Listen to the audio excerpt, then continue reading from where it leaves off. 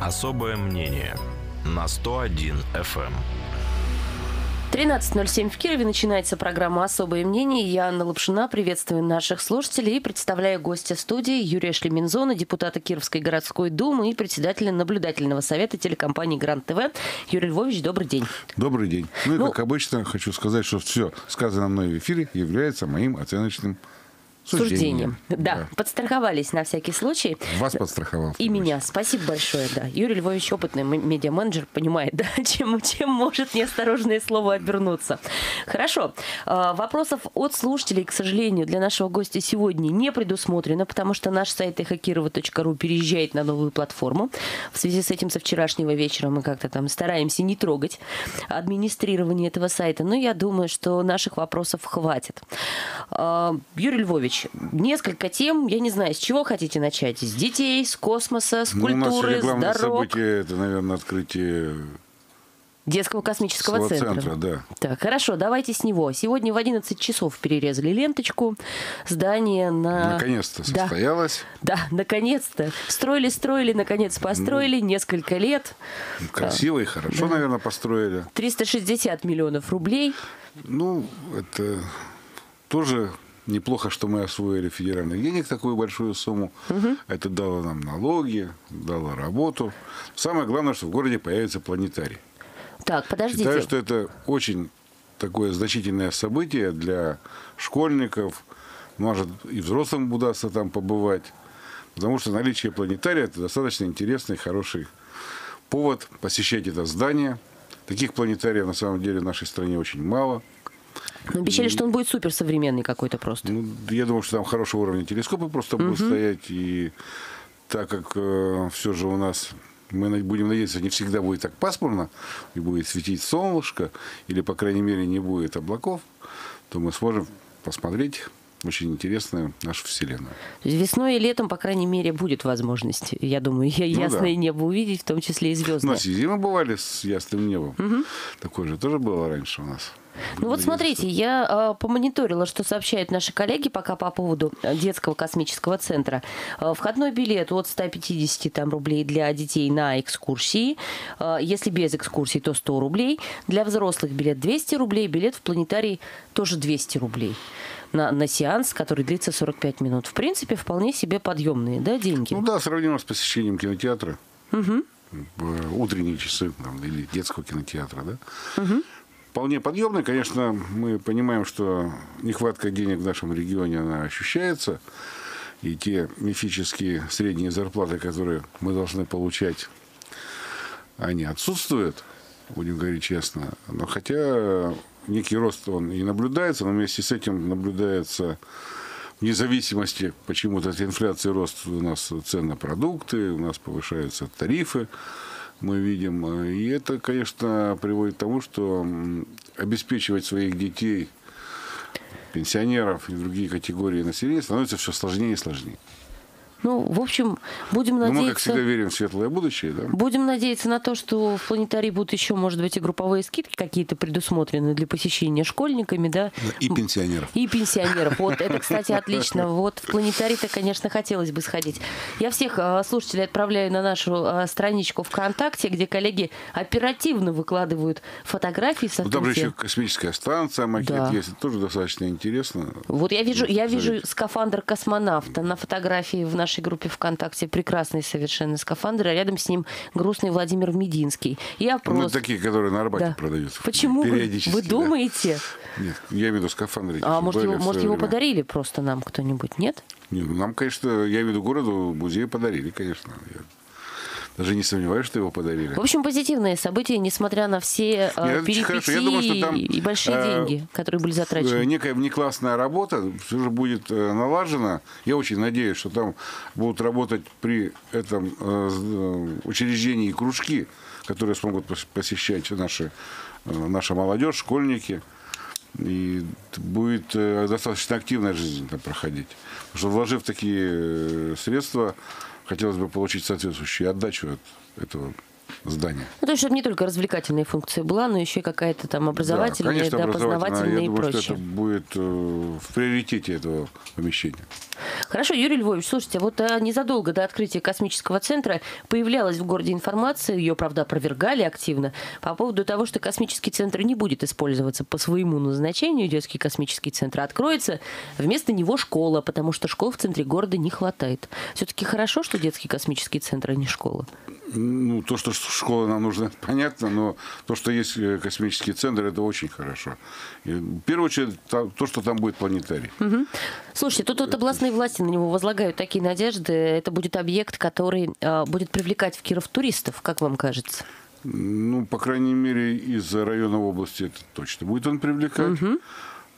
А будет ли население всей России ездить сюда? Ну, это покажет работа Ну, и соседних, центра, может быть, да. регионов, и соседних. Я, я думаю, что некие туры будут органи...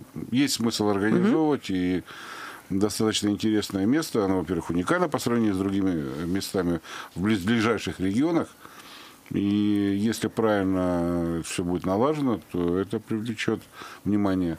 Я вот смотрю, и, собственно, своих коллег э, бывших э, опрашивала, кто работает в других городах, не очень далеко от Кировской области, в э, сфере туризма, например, да, говорят, что да, Киров действительно в некотором смысле привлекает вот такие родительско-детские группы, потому что Динопарк, да. теперь планетарий.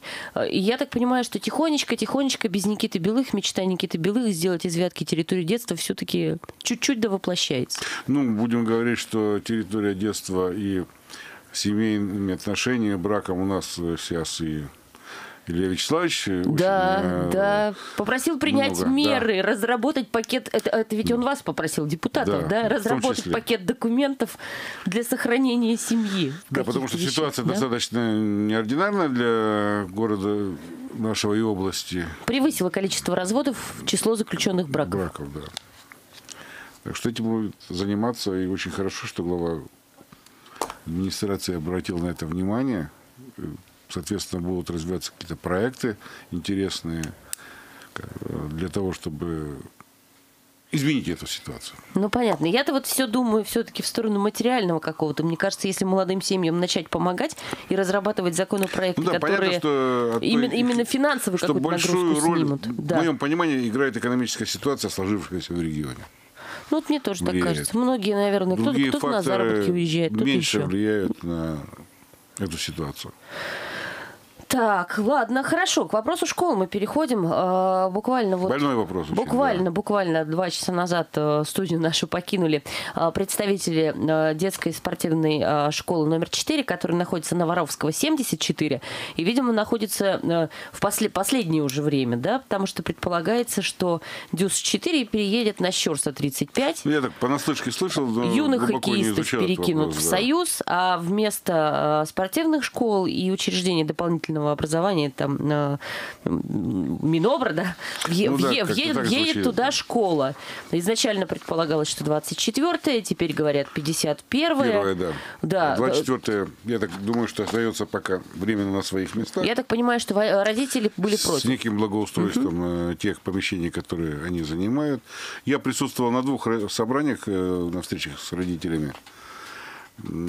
Хотя даже предлагалось там э, с по- помощью транспорта помочь по доставке детей. Ну, как-то не очень родители на это все реагировали, не верили в то, что это может быть выполнено, хотя это, я считаю, что это вполне выполнимо, и администрация города бы справилась с этой задачей. Но это ведь Ну, тяжелая предла- предлагали как Вот я временный могу вариант, сказать, что я понимаю. э, ситуация в моем, в моем округе не намного лучше, на самом деле. А ваш округ, вот, давайте мы слушателям 14, напомним, это да? От, от Сидоровки до Гнусина, это очень большая Нет, ну часть. давайте, от улицы Ленина в сторону Это куда? все за, Заречную, за рекой, в Заречную да. Это часть. КМДК, это Верестники, это Коминтерн, это ДСК, так далее. Это Озерки, вот. Слушайте, а у вас-то там, а у вас-то там чего? У, У ва- нас, у э, вас значит, только начинается еще плотная застройка. Нет, там уже на самом деле э, очень сложно э, ситуация со школами. Я очень сожалею, что школа в районе Долгушина так и не, строительство не открылось, хотя было много обещаний, что в 2018 году она будет заложена. Я так сейчас понимаю, А что сейчас- сейчас раньше что 2020 обещают? года э, это не произойдет. Потому что из тех федеральных денег, которые я видел, что поступили в область, уже будет строительство уже все Зуевки, да, будет. Ну, в смысле, Но я думаю, что эта программа должна, мне кажется, расширяться, и вот в результате этого, может быть, немного ускорим. Потому что проект типовой есть, существует. Угу. Самое главное, что есть место, где строить школу, в отличие вот, э, от центральной части Первомайского района. Считаю, что это была большая ошибка администрации города, когда место на углу улицы Ленина и Розы Люксембург отдали под строительство непонятного многоэтажного здания. Это мы сейчас Вознесенский имеем в виду, который Ленина 31, который напротив Ленина 20. И, да, или еще какое-то да. новое здание, да, которое будет строиться. Вот это, которое сейчас да. недострой стоит, да? да? Ну, в свое время много было шума, конечно, по этому поводу. Ну, вот э, я думаю, что ситуация, если на улице профсоюзной во враге будет построена школа, то ситуация ну, улучшится, конечно, значительно. Э, в этом районе, потому что в центральной части уже и некуда, негде практически строить, и э, много первых классов. Загрузка в школах очень высокая. Когда вторая смена занимает более 40%, это какие рамки. Юрий Львович, а вот такой у меня вопрос. Смотрите, если возвращаться... Тяжело учиться и преподавать тяжело. Большой... сказывается на... Всем тяжело. Да, ну, это сказывается на здоровье детей. И, что самое и, и на здоровье учителей, психологическом, ну, как да. минимум, тоже. Юрий Шлемензон, депутат Кировской городской думы в нашей студии. Мы тему со школами не закрываем. Вернемся к ней после небольшого перерыва. Особое мнение на 101 FM. Депутат Кировской гордумы Юрий Шлемензон в нашей студии. Мы продолжаем выслушивать его особые мнения. Еще таки, возвращаясь к ситуации со школами, а, вот хотела о чем вас спросить. Все-таки вот это здание Воровского 74, вокруг которого столько сообщений информационных, да, и, и бои уже даже настоящие разворачиваются. Как вам кажется, вот, вот это решение проблемы ради образовательной школы с большим количеством учащихся, да, условно говоря, а, ну не то чтобы выкинуть, да, а переселить, может быть, в не совсем подходящие условия дополнительные, да, учреждения, спортивные школы, там, ну, неважно, могут быть кружки какие-то, все что угодно.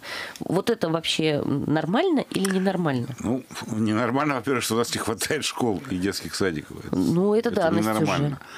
Ну, я думаю, что администрация просчитывала все риски угу. и пришла к тому оптимальному решению, которое может существовать на данный момент. Ну, вот смотрите, с борцами... Ничего хорошего Понятно, что нет, и в администрации там достаточно неглупые люди, они тоже угу. это понимают.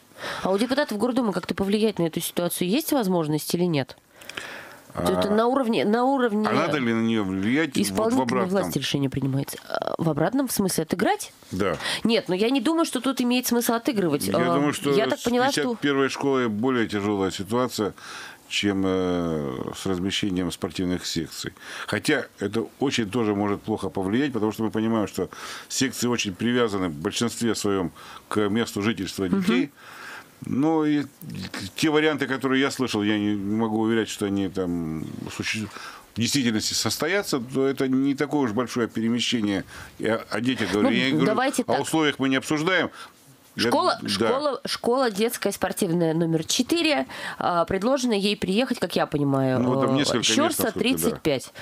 То есть Воровского ну, 74, Щерса 35. По улице да. Попова можно доехать, да. там ходит пятый троллейбус, Но будут по-моему, условия для, такие же условия для занятий? Не будут, не будут, Скорее потому всего, что нет, да. говорят, что значительно меньше помещения в 5 ну, раз. Мы же видим, что у нас минимизация нет затрат территории. на спорт просто катастрофическая, и это приведет к очень нехорошим последствиям. Я думаю, что как федеральная власть, так и местная власть одумается по этому вопросу. На детский спорт все же будут выделяться те деньги, которые необходимы. Ну, по крайней мере, чтобы это не погибло, а не так телепалось туда-сюда. Да тут, мне кажется, даже не в деньгах дело, а дело именно в помещении. Вот мне интересно, неужели у города, мы же вот тогда разбирали эту тему по аренде и продаже муниципального имущества, неужели у города нет помещений, в которые может эта школа переехать? Скорее всего, нет, потому что было бы... Предложен был бы вариант? Да, конечно. Я ну, видел печально, списки этих вот зданий, которые там предлагаются или в аренду, или на продажу. Ничего хорошего там нет. Да, не Вот осталось. так, да? Наверное, скорее Все разобрали хорошее. да. Юрий Шлемензон, депутат... Не, ну все равно никакая специализация должна быть в здании под такие вещи. Ну, разумеется, да нет, ну подождите, спортивные, если секция открывается, там так-то ведь и вентиляция должна быть предусмотрена, и все что угодно. Душевые, И да. душевые, конечно, и потом это же дети, там, наверное, санпины какие-то Конечно. строгие, да? Юрий Шлемензон, депутат Кировской городской думы в нашей студии. Какая-то печальная у нас складывается картина. Ну, хорошо, мы Зато перейдем... солнышко светит. Мы перейдем к теме дорог сейчас, Юрий Львович. А, Вы, я так понимаю, по-прежнему являетесь членом а, группы общественного контроля а, за Во качеством ремонта и содержания дорог. Да. Ваши коллеги по рабочей группе недели три назад начали поднимать вопрос о том, что готовится в Кирове аукцион на ремонт дорог, дележку так называемого дорожного миллиарда, на самом деле там побольше, да, и будет там два крупных лота. Маленьких лотов, как в прошлом году было, не будет совершенно. Не будет, да. Ну так, в общем, Ну, в и рамках вышло. закона там 15% положено выделить. Ну, то есть они отдадут субподрядчикам, я так понимаю, да? Ну, я думаю, что там не только эти 15%, еще придется отдавать, потому что у си- сил у организации не хватит. Мы же видели, АРП входила московская, все на субподряде было. ГДМС э, своими силами в большей части справлялся. Вятов Тодор еще, по-моему, да? У нас Да, э, заявлял о желании принять Ну, у нас, участие. нет, у нас многие, у нас Слободского, АБС работал, Великий Тигран работал, у нас разные работали. Ну, я, я так сезоне. понимаю, что объ- ну, в прошлом сезоне были Да. меньше лоты. То есть Тигран Великий сейчас говорит, что мы готовы бы взяться, если Ну, был они, лот наверное, миллионов попадут двести. на суд подряд э, где-то. Потому что ФАС отклонил те запросы, которые были по... От общественников. Нет, не от Нет? общественников, это другие организации подали, сколько я знаю, даже иногородние, которые Жалобу. хотели, да, жалобу подавали. Все признано законом. Э, Ирина Фуфачева очень подробно на рабочей группе объяснила, чем мотивировано, хотя э, она тоже знает, что судебная практика по этим вопросам очень различается от региона, от одного к другому. Не все идут по пути укрупнения лотов, и судебная практика там э, отменяет такие, показывает, что были отменены такие э, тендеры. Вот смотрите, есть опасность. Мы тоже ее обсуждали уже в этой студии с разными экспертами. А, опасность в том, что если будет отменена вот эта вот история с двумя лотами, надо будет формировать новые задания, правильно? Ну, На сейчас конкурс. она уже не будет отменена, потому что нет заявителей, которые требуют ее отмены. А подождите, а разве не хотела рабочая группа или кто-то из э, других контролирующих товарищей э, обращаться в, в Ну, центральный, в центральную антимонопольную службу Пока в такой, Москву? доку- пока такой документ не создан, поэтому говорить Пока нет. этом. Ну, то есть на- наша ФАС признала законным, следовательно, завтрашний аукцион тоже будет законным.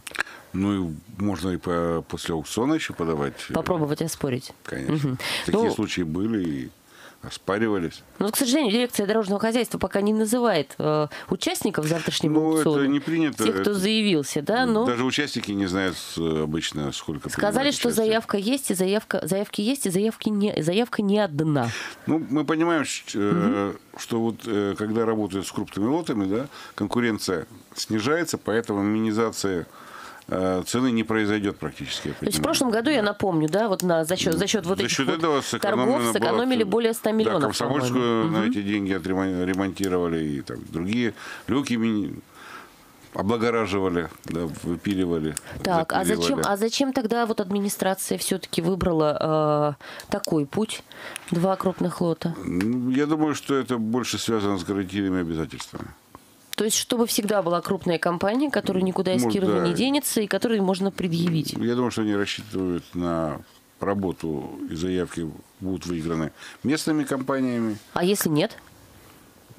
Тогда существует закон Российской Федерации, который будет действовать на территории всей Российской А Федерации. где мы потом будем искать эти компании? Вот я так понимаю, что с агентством развития перспективных технологий не все понятно. Как они будут доделывать то, что не доделали в прошлом году?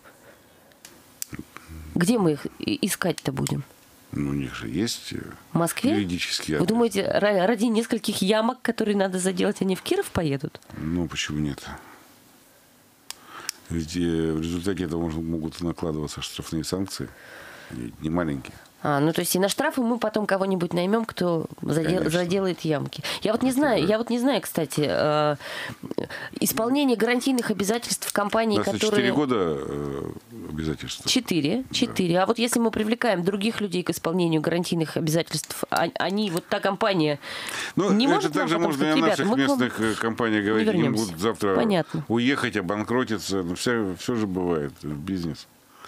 Ну, просто и главное, что снижается конкуренция. Вот, э, Это при плохо. таких больших лодах, да. Не сэкономим. Это плохо. Я думаю, что практически не сэкономим. Ну вот завтра надо будет посмотреть все-таки, чем в итоге закончится вся Ну да. история. Я так понимаю, что есть все-таки возможность еще протестовать у общественников. Ну, и не только у общественников, я думаю, и у участников есть. И у участников есть, так. Такие воз- юридические возможности, конечно, есть. А вы не знаете, кто-то собирается как-то вот? Не знаем Нет? пока. Не в курсе. Хорошо, Юрий Львович, расскажете тогда чуть-чуть попозже. Потом все расскажу. Отлично, хорошо, ловлю на слове. Но у нас остается три минуты, на самом деле, до большой рекламы. Я предлагаю сейчас сделать рекламную паузу, просто немножечко пораньше начнем и вернемся. Особое мнение на 101 FM. Юрий Шлемензон, депутат Кировской городской думы, председатель наблюдательного совета телекомпании Гран ТВ в нашей студии. Мы продолжаем особые мнения. Переходим, Юрий Львович, к теме благоустройства. Любимая наша тема. Очень важная тема. Да, очень важная тема. Нет, ну кроме шуток, правда Да. же. Вот. А начать я все-таки хотела бы, конечно, с опроса, который э, э, провел Вятский государственный университет. Э, опрос на тему, насколько Киров современный, комфортный и безопасный город для жизни. Мы более подробно о нем еще с представителями ВУЗа поговорим. Ну, сейчас вот такие прямо исходные данные. Э, более 1800 Ну да, человек очень серьезная выборка, надо сказать. голосовало. Это, это это много, очень да? большая выборка, да. Нет, вы не шутите? Я это не много. шучу, конечно, это, очень много, да. Да, 100 Если у нас в СОМ проводит э, по стране опросов 1600-1400 человек. А тут в А Кирове. мы на регионе 1800. Это очень... В общем, да, хорошо, большая, Хорошая большая цифра. выборка солидная, да. 1812 человек, 113 вопросов, касающихся качества и комфорта жилья, безопасности, экологии, удовлетворенности работы организации социального, а, социальной Да. сферы и культуры. В общем, множество всего. Вот, э, какие результаты? Респондентов попросили составить ассоциативный портрет Кирова. Негативные характеристики, которые люди, значит, озвучивали. Грязный, непопулярный, тусклый. Позитивные, спокойный, безопасный, добрый. Вообще надо сказать, что безопасность в городе оценивают достаточно хорошо, то есть 48%, судя Ну по да. результату опросов. Криминальную ситуацию считают спокойно, то есть почти половина, да.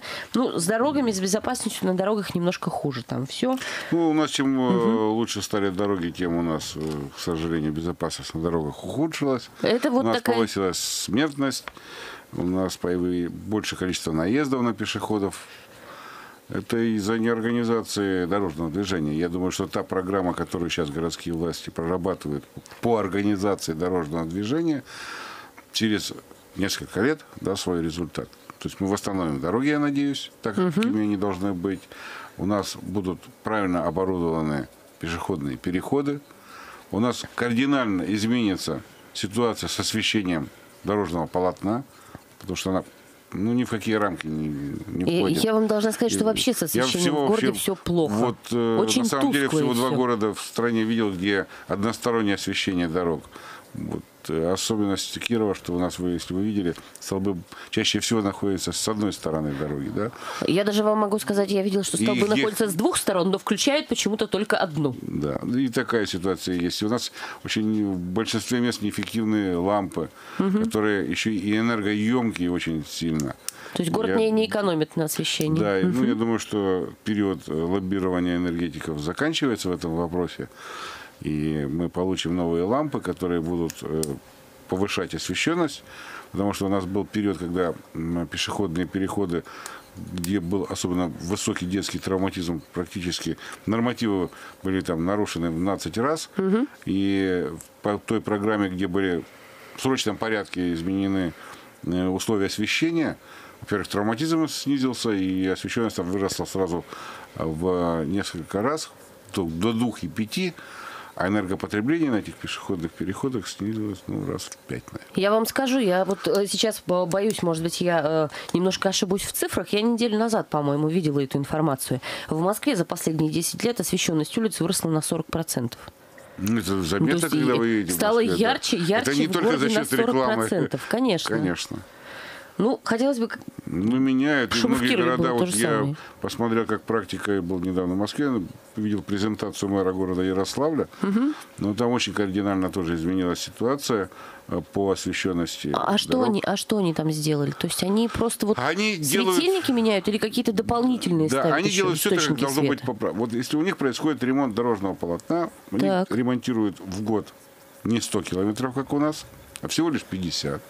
Но с полной перекладкой коммуникаций, с полной организацией пешеходных переходов, с полной организацией светофоров, постановки, с ограждениями, с от- а, как она называется правильно, разметка делается пластиком.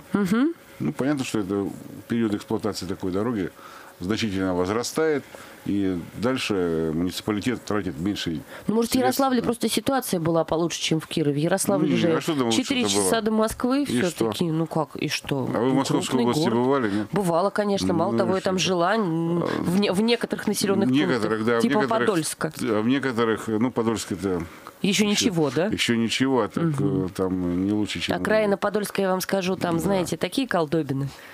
Да, там не самая радужная ситуация, не лучше, чем В общем, делать надо комплексно. районах. А? Делать надо комплексно. Да. Лучше Ну меньше. вот подхода это озвучивал Так. и Шульгин, и губернатор о том, что благоустройство частей города надо проводить комплексно. Ну, Поэтому вот та программа, которая уже начала работать о нашей прекрасной среде, да, которая Это формирование Форми- комфортной да, городской среды. комфортной Вы про среды. нее. Да, я заметно, что население очень э, активно откликнулось. э, Очень много заявок. Я знаю, что по Первомайскому району э, было подано более 12 тысяч заявок. Вот в микрорайон только Озерки э, 6 тысяч заявок подал.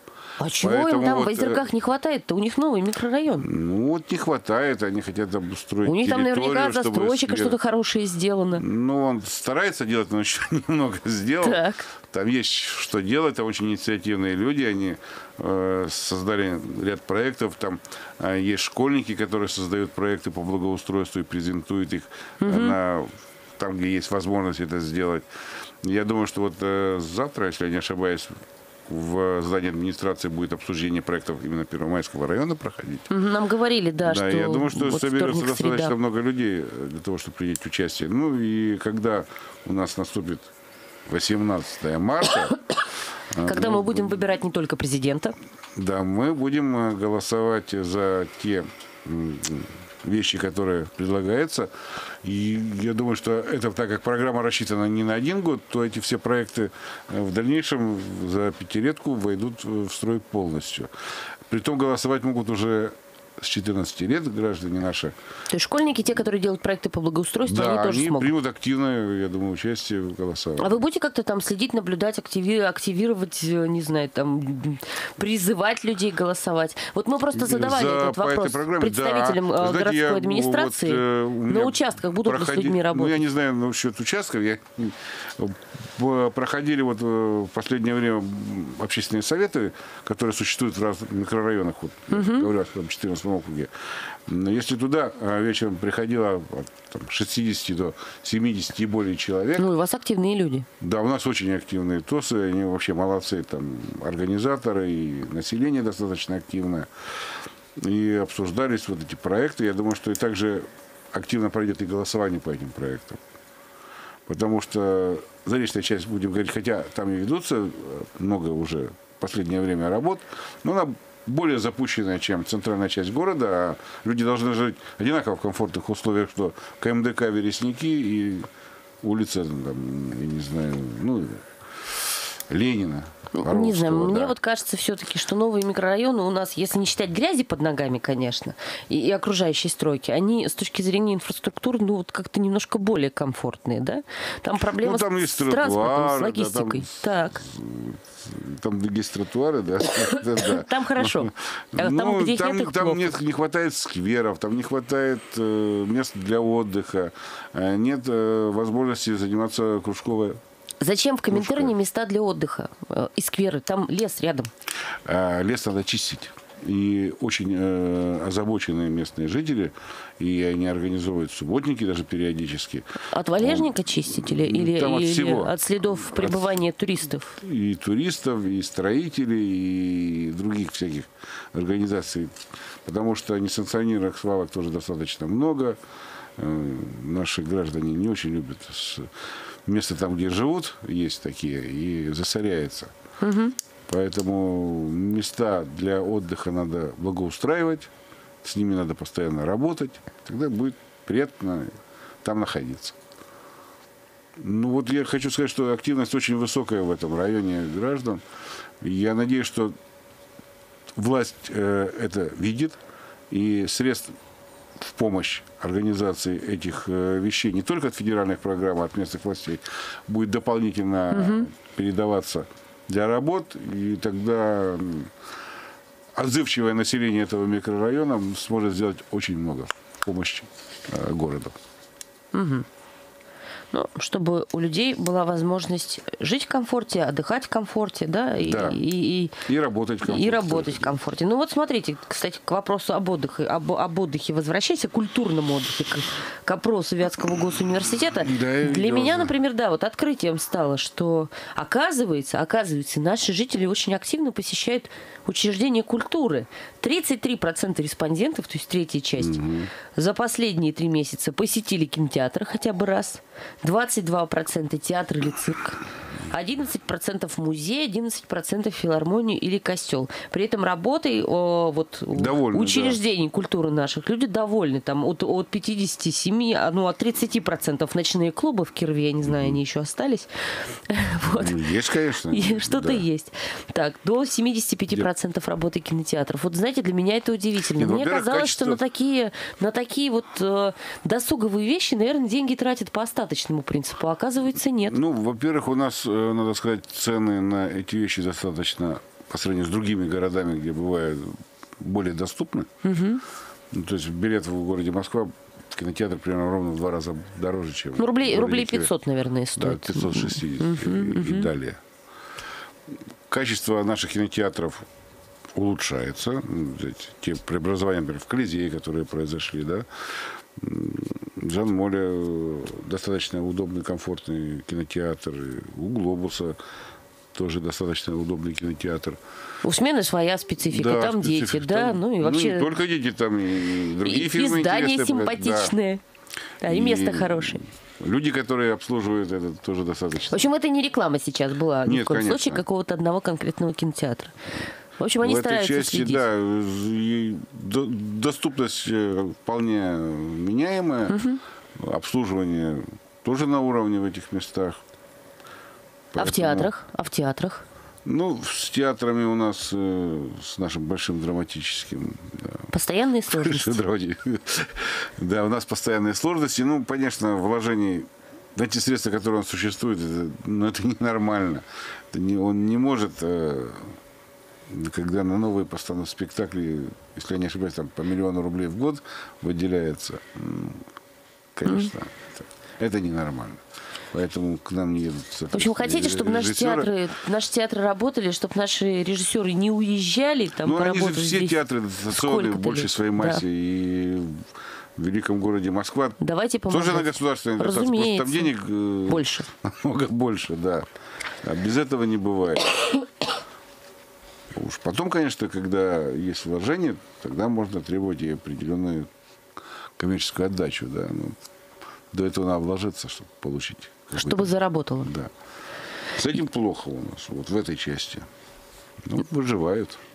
Ну вот хотелось, чтобы не выживали как раз, а все-таки жили. Ну, так, да. же, так же, как в Коминтерне жители, да, в уже Озерках. Год 2018, чтобы жили как- как а не следует. 1918. Да. А, Юрий Шлемензон, депутат Кировской городской думы, председатель наблюдательного совета телекомпании Грант ТВ в нашей студии. Я хотела попросить вас все-таки сказать еще вот о чем. А, Завтра Киров, кировчане будут прощаться с Маратом Френкелем, который на протяжении долгих лет возглавлял наш а, Кировский гидрометеоцентр, да, был членом общественной палаты в этой студии, бывал неоднократно. Экологические темы мы поднимали, и Марат Ашерович, в общем, надо сказать, не боялся никого такой. Ух.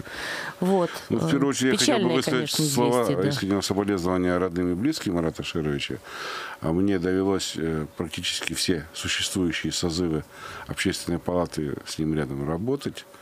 Э, Он очень был активен всегда, э, очень переживал за жизнь города, области, очень ответственно относился к своим общественным поручениям. И поэтому надо ему отдать должное, что я думаю, что его долго будут помнить. Человек был достаточно честный. Хоть иногда и ошибался в прогнозах. Ну, Вот. это, уж- часть работы да. мы не Часть будем- работы да. синоптика. Она такая у всех. Но очень жалко, что такой человек ушел из жизни. Но нам его тоже, конечно, будет очень не хватать. Я всем кировчанам, которые хотят попрощаться с Маратом Ашеровичем, напоминаю, что прощание будет завтра с 10 до 11 в ДНТ, областной дом народного творчества. Это Октябрьский проспект 38, э, то есть перекресток Октябрьского проспекта и профсоюзный. Вот, пожалуйста, подходите, можно будет туда а, подойти и попрощаться. На этом я так думаю, что мы с Юрием Львовичем, наверное, и завершать будем программу сегодняшнюю. Я думаю, да. Я благодарю Юрия, Шлем... Юрия Шлеминзона, депутата Кировской городской думы. Вот, с нашими слушателями прощаюсь. Надеюсь, что сегодня к вечеру наш сайт все-таки заработает в полном объеме. И переслушать нашу Да. программу Спасибо всем, кто можно нас будет слушал. там. И я жду вопросы к следующей программе. Спасибо, до свидания. свидания. Особое мнение на 101 FM.